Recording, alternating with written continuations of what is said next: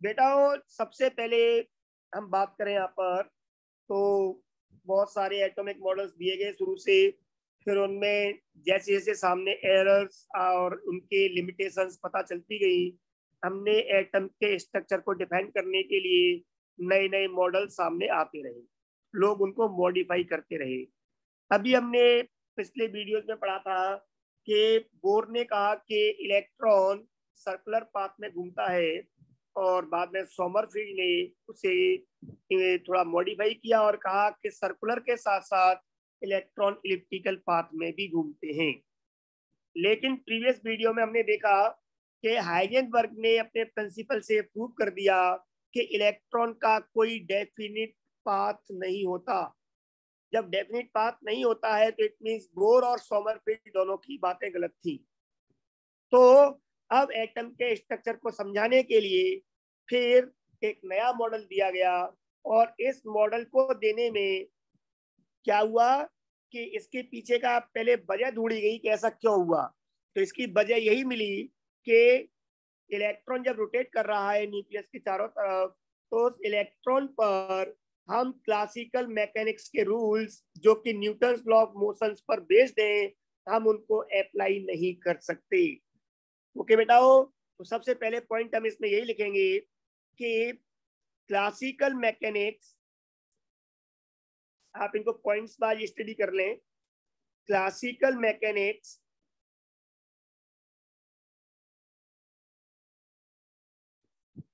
which is based on Newton law of motion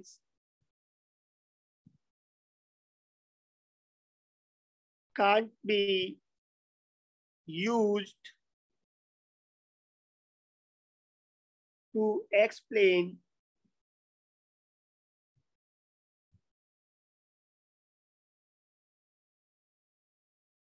energy or speed or velocity of microscopic particles like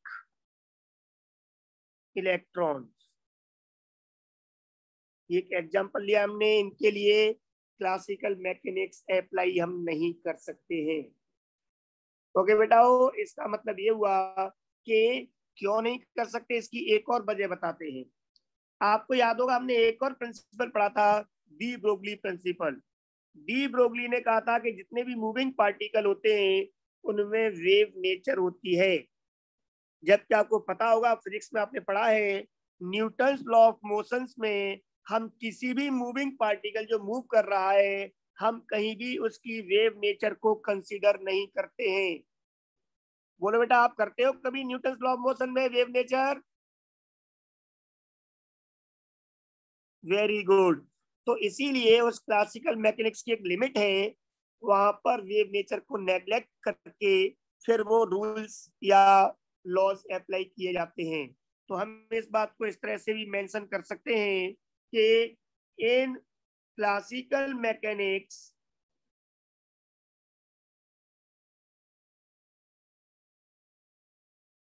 wave nature of moving particles is neglected. हम इसको neglect कर देते हैं। क्यों? क्योंकि classical mechanics में हम हैवी पार्टिकल्स पढ़ते हैं। और वी ब्रोगली प्रिंसिपल में हम पढ़ चुके हैं हैवी पार्टिकल्स के केस में वेवलेंथ नेग्लिजिबल हो जाती है, या उनकी वेव नेचर है वो नेकेड आई से ऑब्ज़र्व नहीं होती है। इसीलिए वहाँ पर क्लासिकल मैकेनिक्स में वेव नेचर को नेग्लेक्ट कर देते हैं, लेकिन होती तो है। और हल्के पार्टिकल्स इलेक्ट्रॉन जैसे पार्टिकल्स के केस में जहाँ वेवलेंथ बहुत ज़्यादा होगी, उस केस में हम इसको नेग्लेक्ट नहीं कर पाएँगे। तो उस केस में हम उस पर न्यूटन लॉ ऑफ़ मोशन भी अप्लाई नहीं कर सकते। इज़ दैट क्लियर बेटा? Yes, इसका मतलब ये हुआ मेरे बेटा क्लासिकल मैकेनिक्स दैट इज़ जहाँ हम न्यूटन लॉ ऑफ़ मोशन लगाते हैं जहाँ पर आपने निकाला है कि अगर इनिशियल वेलोसिटी इतनी है फाइनल वेलोसिटी इतनी है तो बताओ कितनी डिस्टेंस कवर करेगा एक्सीलरेशन क्या होगा? V is equal to u plus a t या s is equal to u t plus half a t square ये फॉर्मूले आप यूज़ करते हो उसमें कहीं भी आप किसी मूविंग पार्टिकल की वेव नेचर लेते हो किसकी वेव लेंथ कितनी है? बोलो बेटा। कितने क्वेश्चन तो इसका मतलब क्या हुआ? कि आपकी क्लासिकल मैकेनिक्स इस बात पर डिपेंडेंट है। पूरा न्यूटन लॉ ऑफ़ मोशंस कि वहाँ पर वो पार्टिकल का जो वेव नेचर है, उसको नहीं मानते। वो उसको नेग्लेक्ट करके चलते हैं, जबकि डी ब्रोगली प्रूव कर चुके हैं कि मूविंग पार्टिकल है तो उसमें वेव नेचर होगी। चलो मान लिया हैवी पार्टिकल्स में आपने नेग्लेक्ट कर भी दिया, पर इलेक्ट्रॉन तो बहुत हल्का है, उसकी वेवलेंथ तो बहुत ज़्यादा होगी तो उसको तो आप नेग्लेक्ट नहीं कर सकते, क्योंकि वेवलेंथ जो होती है मूविंग पार्टिकल्स की, वो wavelength is inversely proportional to momentum mass into velocity अगर मास बहुत कम है इलेक्ट्रॉन जैसे पार्टिकल का तो वेवलेंथ बहुत ज़्यादा होगी ना। तो अब तो आप उसको नेग्लेक्ट नहीं कर सकते। और अगर नेग्लेक्ट नहीं करोगे आप उसे इंक्लूड करोगे अपनी स्टडी में तो आप न्यूटन लॉ कैसे लगा दोगे? क्योंकि तो न्यूटन लॉ में तो वेवलेंथ को लिया ही नहीं गया।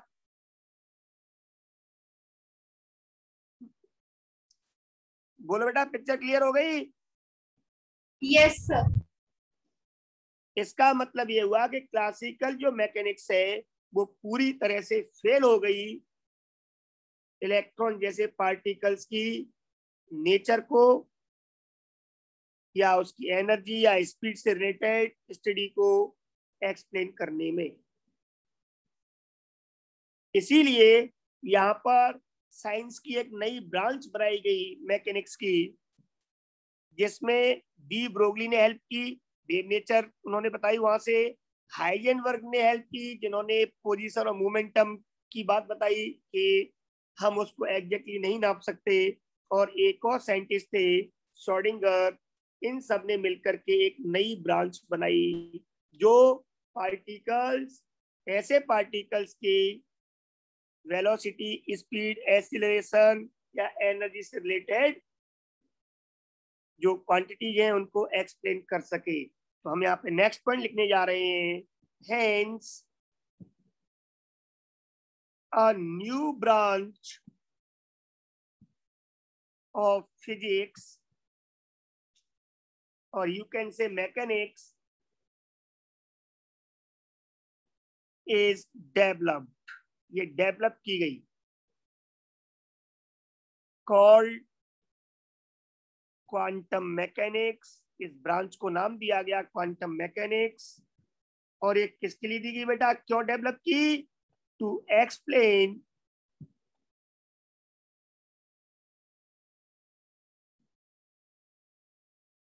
एनर्जी और velocity etcetera of microscopic particles इनको एक्सप्लेन करने के लिए, इन्हें बताने के लिए एक नई ब्रांच डेवलप की गई दैट इज़ क्वांटम मैकेनिक्स एक ब्रांच नई बनाई गई, जो कि न्यूटन लॉ ऑफ़ मोशंस पर बेस्ड नहीं है। ओके बेटा, वो, और ये डेवलप किसने की? By it is developed by Heisenberg पूरा नाम था इनका वर्नर हाइजेनबर्ग आपको डब्ल्यू लिख सकते हो। लास्ट नेम याद रखना, ज़्यादा बेटर रहता है। De Broglie. And Erwin Schrodinger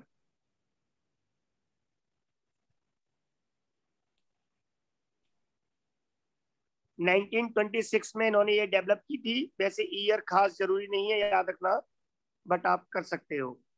तो इन लोगों ने एक नई ब्रांच बनाई, एक नई मैकेनिक्स बनाई जिसका न्यूटन लॉ मोशन से दूर दूर तक कोई मतलब नहीं है।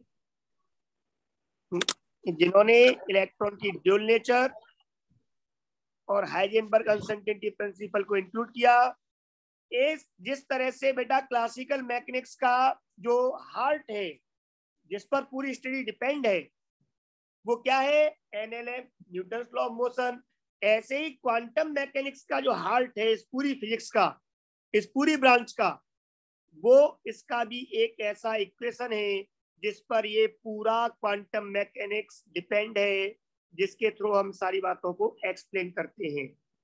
और वो इक्वेशन बनाया, उसमें मेन रोल था श्रोडिंगर का। इसीलिए उस इक्वेशन को श्रोडिंगर इक्वेशन भी कहते हैं, लेकिन वो वेव नेचर को इंक्लूड करता है। इसीलिए हम उसे वेव इक्वेशन कहते हैं श्रोडिंगर वेव इक्वेशन जो कि क्लासिकल मैकेनिक्स में वेव करेक्टर को नेग्लेक्ट कर दिया गया था। ठीक है ना बेटा? वो वो यहाँ इंक्लूड किया गया, इसलिए उस इक्वेशन को बोलते हैं वेव इक्वेशन और जब वेव होगी तो उसकी वेवलेंथ भी होगी। और उसी बात को हम यहाँ पे आगे बढ़ाने जा रहे हैं। ओके बेटा हो तो मैं यहाँ पर इसको आगे लिख सकता हूँ। नेक्स्ट पॉइंट में पूरी कहानी जो है थीम वो हम पढ़ा के चल रहे हैं पर यहाँ पर। An equation of quantum mechanics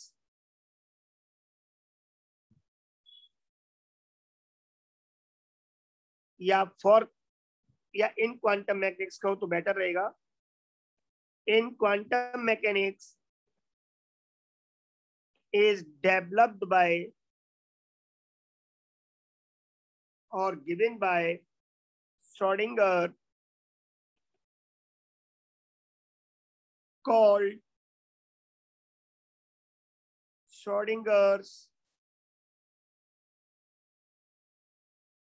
wave equation क्या नाम दिया गया इस इक्वेशन को श्रोडिंगर्स वेव इक्वेशन ओके बेटा हो एक्चुअल में श्रोडिंगर वेव इक्वेशन जो मैं बताने जा रहा हूँ आपको, ये रियल में पूरी क्वांटम मैकेनिक्स इस पर डिपेंडेंट है।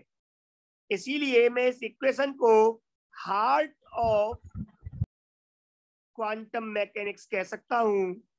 जैसे NLM Newton law of motion is heart of classical mechanics Newton law of motion क्या है? क्लासिकल मैकेनिक्स के हार्ट है भाई, इसके बिना काम नहीं चलेगा। अब ये इक्वेशन क्या है? हम उस इक्वेशन को लिख लेते हैं। फिर उसके बाद में अब आपको बस इतना ध्यान रखना है क्वांटम मैकेनिक्स एक बहुत बड़ी ब्रांच है फिजिक्स की। कई बार इसमें आप कई यूनिवर्सिटीज पोस्ट ग्रेजुएशन एमएससी की डिग्री देती हैं, कई लोग इस पर रिसर्च करते हैं तो आप समझ सकते हो कि हम यहाँ प्लस वन प्लस टू में इस इलेक्ट्रॉन के इस क्लासिकल में जो मॉडल को छोड़ के क्वांटम मॉडल में हम जो पढ़ेंगे वो केवल कुछ जस्ट इंफॉर्मेशन पढ़ेंगे एक आइडिया पढ़ेंगे। मतलब ये इक्वेशन कहाँ से आया कैसे ड्राइव किया गया ये हमें स्टडी नहीं करना है। ना आपसे पूछा जाएगा। ओके okay, बेटाओ ना ही इस इक्वेशन से हम ड्राइव करते हुए और बहुत सारी बातें जो निकल के आती हैं वो भी नहीं पढ़नी है। वो आपके हायर क्लासेस की बात है। तो वो हायर क्लासेस में अगर आप जाते हो, कोई आगे एमएससी इन फिजिक्स और क्वांटम मैकेनिक्स ब्रांच के थ्रू करता है तो वो इसकी स्टडी को वहाँ करेगा।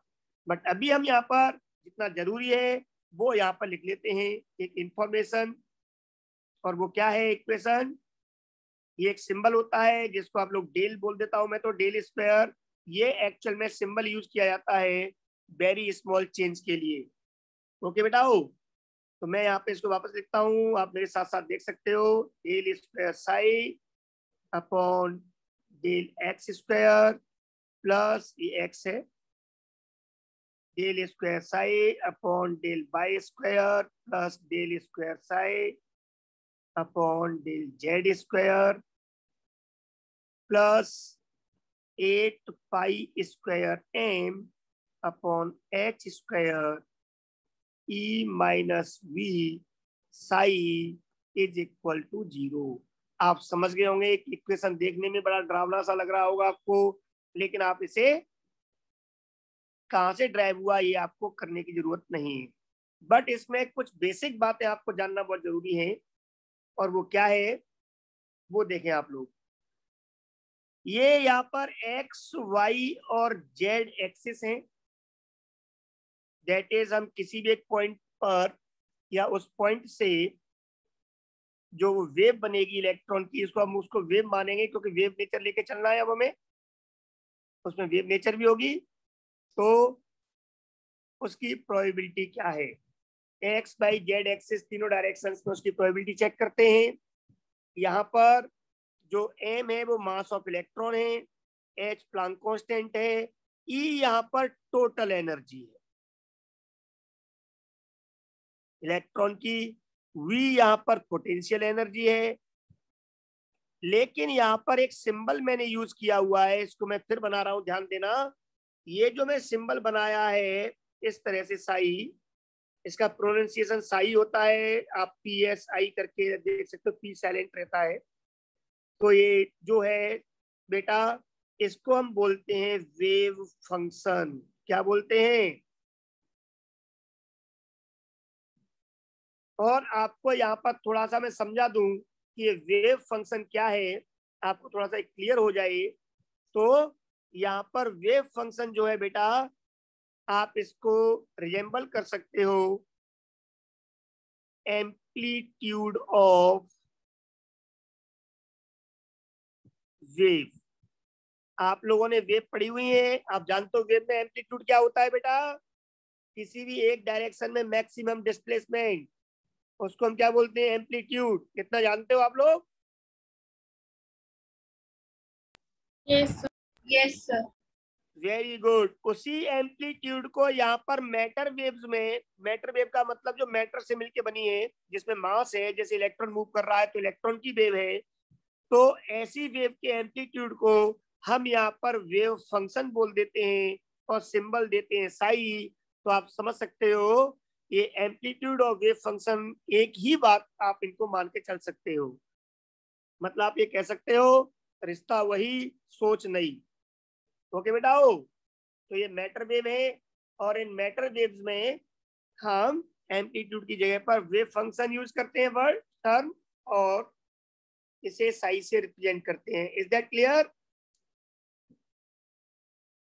yes very good तो मैं इसको अब आगे बढ़ा रहा हूँ इस पार्ट को इरेज करके ध्यान देना। इरेज कर दू? यस वेरी गुड तो मैं इसमें बस कुछ ही पार्ट इरेज कर रहा हूँ। आप एक बार इसको देखना। और मैं सिर्फ़ इसमें पार्ट इरेज कर रहा हूँ थोड़ा सा ऊपर से क्योंकि मुझे इस इक्वेशन को भी आगे बढ़ाना है। बट इससे ही बढ़ाना है इस इक्वेशन से।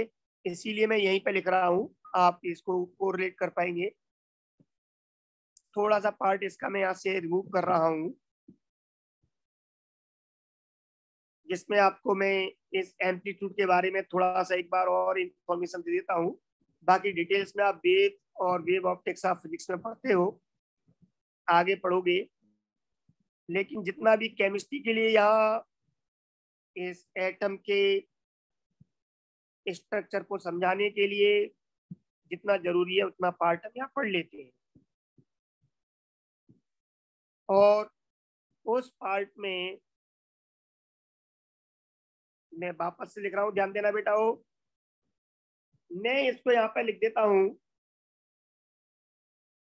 Del square psi upon del x square plus del square psi upon delta y square plus del square psi upon del z square plus मैं ये जो पार्ट है पूरा चलो मैं इसको हटाता हूँ। मैं इस पूरे पार्ट की जगह पर एक मैथमेटिकल ऑपरेटर यूज़ करता हूँ इसको सॉल्व करने के लिए।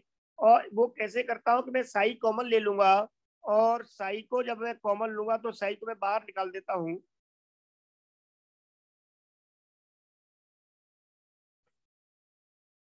तो इस तरह से इन तीनों के लिए एक ऑपरेटर लिया गया और इससे नाम दिया गया लाप्लासियन ऑपरेटर ये एक साइंटिस्ट के अकॉर्डिंग मैथ के कई इक्वेशंस को सॉल्व करने के लिए हम कुछ ऑपरेटर बनाते हैं, जिन्हें हम बोलते हैं लाप्लासियन ऑपरेटर है यहाँ पर ये। अलग अलग जगह पर अलग अलग यूज़ होते हैं और इसको सिंबल दिया गया। थोड़ा ध्यान से देखना समथिंग लाइक दिस ओके बेटा? और ये इसका स्क्वायर है। ये इसका यूज़ कैसे करते हैं लाप्लासियन ऑपरेटर का? It is not your business right now अभी आपको प्लस वन में इसका यूज़ नहीं करना है, ना इसके क्वेश्चंस ना न्यूमेरिकल्स ना और कुछ। आपको सिर्फ़ सिंबल सभी याद रखने तो मैं इसको स्ट्रॉडिंगर वेव इक्वेशन को कैसे लिख सकता हूँ?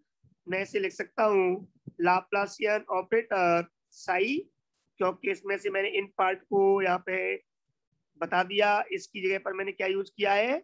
लाप्लासियन ऑपरेटर साई मैंने कॉमन ले लिया था साई बच गया प्लस वही eight pi square m upon h square e minus v psi ये एक नई फॉर्म है इस इक्वेशन की तो आपको इस इक्वेशन की केवल फॉर्म्स पढ़नी है अभी आपको बस। छोटी क्लासेस में इतना इंफॉर्मेशन आपको दिया जाता है और डिटेल्स हायर क्लासेस में पढ़ाई जाती है।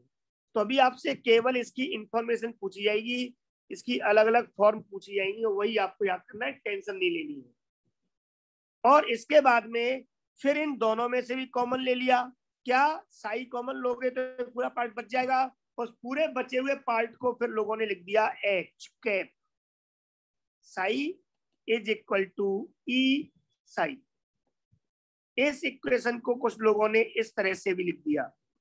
यहाँ पर जो एच है, इसको एक और साइंटिस्ट के नेम के बेसिस पर एक मैथमेटिकल ऑपरेटर बनाया और इसको नाम दिया गया हेमल एच को नाम दिया गया h a m i Hamiltonian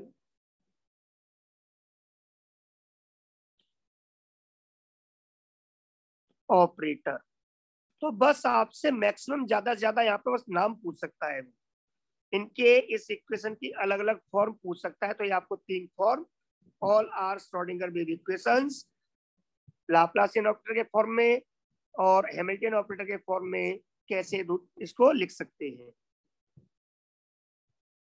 बोले बेटा पिक्चर क्लियर हो गई?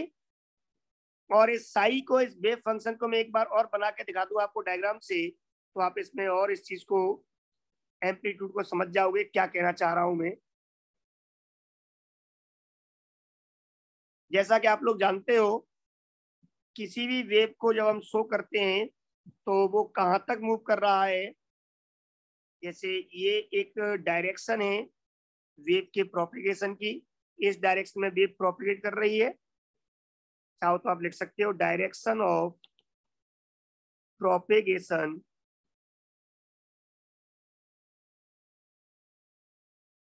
Of wave wave के प्रोपिगेट करने की डायरेक्शन है। इस तरफ़ में यहाँ पे प्लस और माइनस दोनों डायरेक्शन में इसके एम्पलीट्यूड शो करूँगा। आपको पता है कि जब परपेंडिकुलर ऑसिलेशंस होते हैं पार्टिकल्स में, इस डायरेक्शन ऑफ़ प्रोपेगेशन के तो उन परपेंडिकुलर ऑसिलेशंस की वजह से जो मैक्सिमम डिस्टेंस होती है डिस्प्लेसमेंट की, अगर मैं उन सारे लास्ट पॉइंट्स को जहाँ तक ये डिस्प्लेस हुआ है उन सारे पॉइंट्स को अगर मैं फ्री हैंड से मिला दूँ तो इस तरह से मुझे वो लास्ट पॉइंट्स मिलते हैं। ओके बेटाओ और उस समय में यहाँ पर इस maximum displacement in any direction zero से जो होता है, इसको बोलते हैं हम एम्पलीट्यूड फिजिक्स में आपने वेव में पढ़ा होगा। मैटर वेव में हम यहाँ पर इसको बोल देंगे वेव फ़ंक्शन साई कितनी पिक्चर क्लियर हो गई? बस अंतर इतना है कि अगर आप इस तरफ़ मेजर करते हो तो ये माइनस में लिया जाएगा और उधर लेते हो तो प्लस में। तो मैक्सिमम डिस्प्लेसमेंट क्या कहा जाता है? यहाँ पर वेव फ़ंक्शन फिजिक्स में वेव में आपने से एम्पलीट्यूड कहा था। इज़ दैट क्लियर बेटा? Yes sir yes sir very good जब इस श्रोडिंगर वेव इक्वेशन को हाइड्रोजन के एटम पर अप्लाई किया गया तो कैसे किया गया? या उसमें हमें क्या क्या बात याद रखनी है? वो पॉइंट्स हम यहाँ पर कुछ आपको बताते हैं।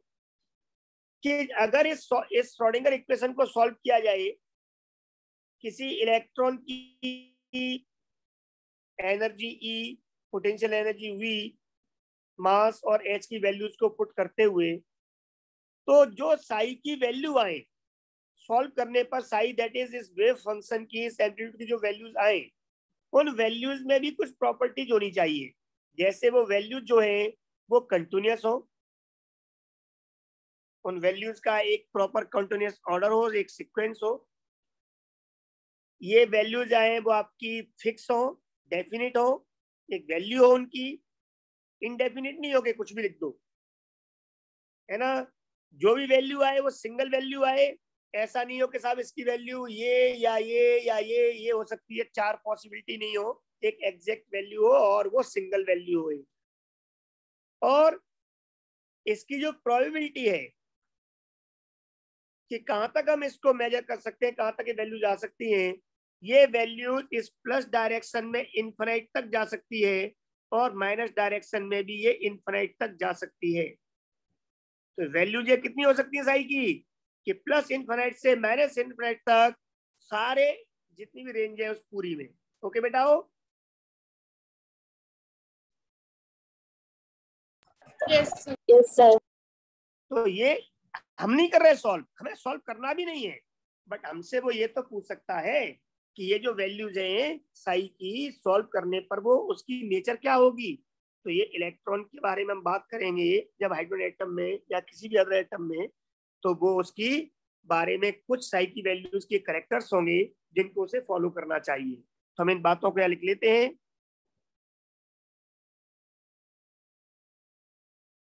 Solution of Schrodinger equation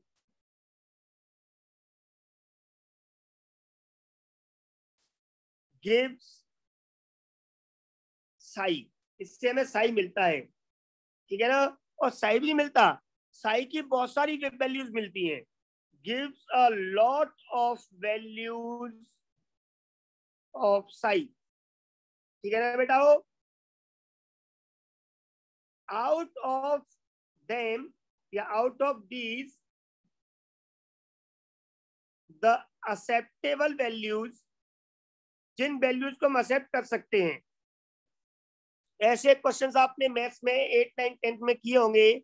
जब क्वाड्रेटिक इक्वेशन सॉल्व करते हैं तो एक्स की वैल्यूज़ दो आती है, एक प्लस में, एक माइनस में। तो हम उसमें क्या करते हैं कि अगर वो एक्स को हमने वहाँ पर एज माना हुआ है किसी आदमी की, और एक्स क्वाड्रेटिक इक्वेशन सॉल्व करने पर एक्स की वैल्यू माइनस फाइव और प्लस टेन आती है तो हम क्या बोलते हैं कि एज माइनस में तो हो नहीं सकती। So minus five is not acceptable तो age of the person is ten years और आंसर हम टेन लिख के आते हैं। ऐसे क्वेश्चन आपने किए बेटा एट नाइन टेंथ में मैथ में? Very good same thing is here इस इक्वेशन को सॉल्व करने पर बहुत सारी वैल्यूज़ मिलती है साई की, पर उनमें से हम केवल उन्हीं वैल्यूज़ को एक्सेप्ट करते हैं, या उसी साई की वैल्यू को हम यहाँ पर मानेंगे, या आप इसको पॉसिबल वैल्यू कह सकते हो कि साई की वैल्यू एक्चुअल में क्या पॉसिबल है? बाकी वैल्यूज़ को हम नेग्लेक्ट कर देंगे। तो एक्सेप्टेबल और पैसिबल और possible values of psi must have following properties उन वॉल्यूज में कुछ फिक्स प्रॉपर्टीज़ होनी चाहिए। बस उन्हीं को हम एक्सेप्ट करेंगे, बाकियों को एक्सेप्ट नहीं करेंगे। और वैल्यूज़ क्या है? वो वैल्यूज़ हैं, अभी मैंने बता दिया था आपको, एक बार अब आपको लिख भी देता हूँ। It should be continuous it should be finite, not indefinite. It should be single valued.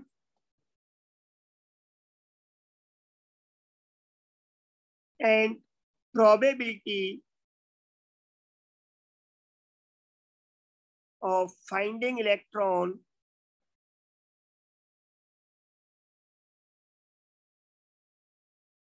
should lie or we can say must lie from plus infinite to minus infinite. Is that clear, beta?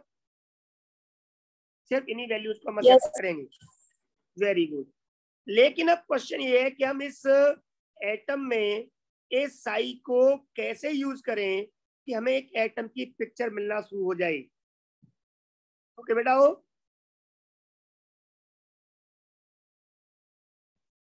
तो वो आपको यहाँ बता दूँ कि वो values के according Sai का फ़िज़िकल मीनिंग क्या है। साई जो है, जिसको हमने क्या कहा अभी? वेव फ़ंक्शन पर ये वेव फ़ंक्शन किसका है बेटा? Of matter wave matter wave means उसकी वेव वेव है, जो मैटर से मिलके बनी है। मैटर क्या होता है? Having mass occupying space matter wave के लिए है। इतनी पिक्चर क्लियर हो गई? यहाँ पे मैटर वेव किसकी करेंगे हम? एटम में स्टडी करेंगे तो इलेक्ट्रॉन की। ओके बेटा तो वो है आपका ऑफ़ इलेक्ट्रॉन। अभी वेव फ़ंक्शन किसका है बेटा वो? इलेक्ट्रॉन का। दूसरा इंपॉर्टेंट एम्पलीट्यूड का स्क्वायर क्या देता है बेटा? Intensity of wave. और यहाँ पर इस एम्पलीट्यूड को जो हमने वेव फ़ंक्शन कहा है, इसका जो स्क्वायर होगा उससे हम इंटेंसिटी के बजाय यहाँ पर बोल देंगे probability of finding an electron probability of finding an electron जिस इलेक्ट्रॉन के लिए निकाला है, उस इलेक्ट्रॉन की प्रोबेबिलिटी इन एटम किसी भी एटम में ये इलेक्ट्रॉन की किस किस जगह पर मिलेगा? उस जगह पर इलेक्ट्रॉन के मिलने की प्रोबेबिलिटी को बताता है साई स्क्वायर ओके बेटा वो? और किसी भी एटम में, अब ये मैं एक एटम बना रहा हूँ बेटा, किसी भी एटम में न्यूक्लियस के चारों तरफ़ जो जगह है जहाँ इलेक्ट्रॉन की प्रोबेबिलिटी हम चेक कर रहे हैं दैट इज़ साई स्क्वायर की वैल्यू हम चेक करेंगे, और ये कैसे चेक करेंगे? साई हम निकाल लेंगे श्रोडिंगर इक्वेशन से वो ऐसा करते हैं लोग, और साई स्क्वायर की वैल्यू से वो बताते हैं उन जगहों को नाम दिए जाते हैं। तो इस एटम के इसकी बाउंड्री से बाहर इलेक्ट्रॉन के मिलने की प्रोबेबिलिटी क्या होगी बेटा? ज़ीरो इसके बाहर तो इलेक्ट्रॉन नहीं मिलेगा ना। बेटा एटम से बाहर इलेक्ट्रॉन के मिलने की प्रोबेबिलिटी ज़ीरो होगी ना। वेरी गुड तो ये साई साई स्क्वायर की की वैल्यू ज़ीरो होगी। कहाँ पर? एट इन्फिनिट इन्फिनिट का मतलब एटम से बाहर. एटम की बाउंड्री से बाहर. तो इन्होंने यहाँ पे क्या किया? नाम दे दिए।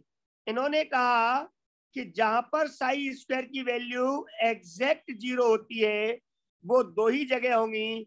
एटम से बाहर दैट इज़ इन्फिनाइट पर, या फिर एटम के अंदर बात होगी तो ये वैल्यू होगी न्यूक्लियस में। At nucleus within atom atom के अंदर न्यूक्लियस एक ऐसी जगह है जहाँ पर इलेक्ट्रॉन के मिलने की probability that is psi square की वैल्यू ज़ीरो होती है। तो अगर आप उसको पूछ ले कि साई स्क्वायर की वैल्यू कहाँ कहाँ ज़ीरो होती है तो आप बताओगे न्यूक्लियस पर और एटम से बाहर। इज़ दैट क्लियर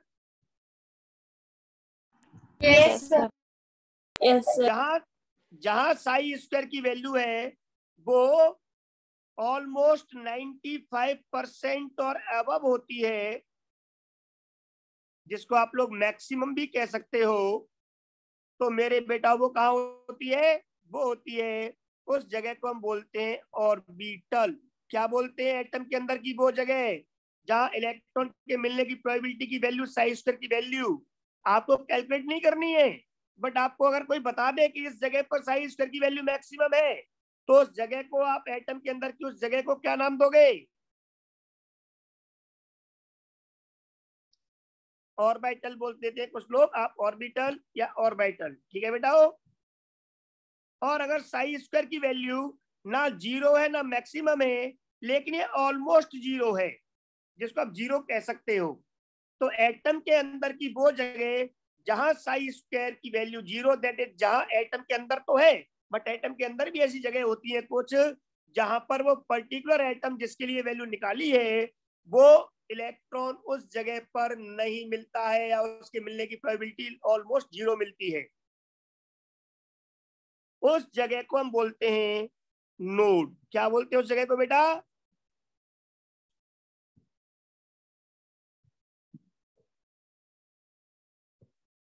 बोलो बेटा ओ तो इसका मतलब इस नए इस नए मॉडल के अकॉर्डिंग इस क्वांटम मैकेनिकल मॉडल के अकॉर्डिंग एटम के अंदर अब तीन जगह हो गई एक न्यूक्लियस एक नोड एक ऑर्बिटल अब इनके बारे में डिटेल्ड स्टडी हम लोग नेक्स्ट क्लास में करेंगे। तब तक के लिए bye take care thank you sir thank you sir okay बेटा थैंक यू सर ओके बेटा वेलकम